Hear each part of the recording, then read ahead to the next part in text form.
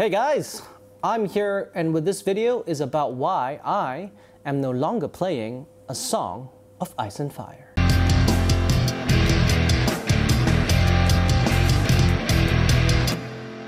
Okay guys, so uh, roughly about a month ago you guys would have realized that uh, videos may have stopped being produced on the channel and I normally do a weekly video and I think that's been going on for probably over a year at this point.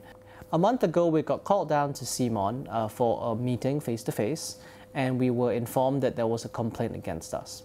So we tried to work it out, uh, maybe try and talk to CMON uh, to get, get what kind of uh, evidence or events led them to, to think that this, this uh, complaint held true. And um, we, we didn't manage to get to that point. Um, so CMON took a commercial decision to, to end the relationship which is totally within their rights, I think.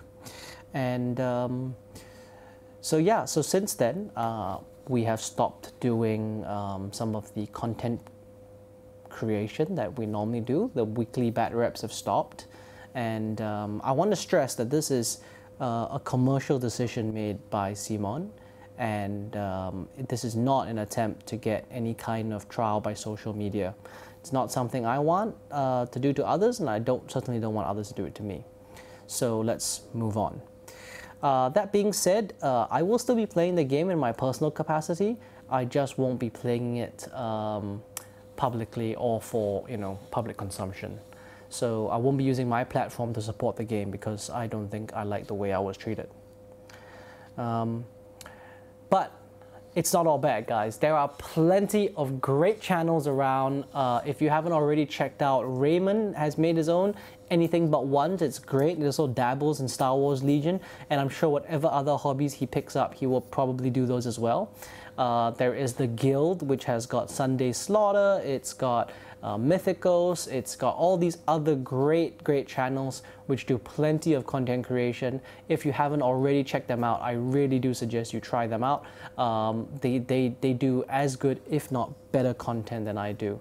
Um, the Guild also has got uh, monthly drops which come with articles, podcasts, all these things from around the globe with great great top tier playing so you can really learn something from there. Yeah guys so uh, continue to support the channel. You guys have been great. Uh, We've got some things down the pipeline which I think might be interesting to some of you, uh, but otherwise, you know, I do do battle reports for Flames of War, Team Yankee, and a whole slew of other games, and I'm sure that we will catch other stuff as and when they come out. If they're a good game and we can distribute, we'll obviously try and support that to the best of our ability.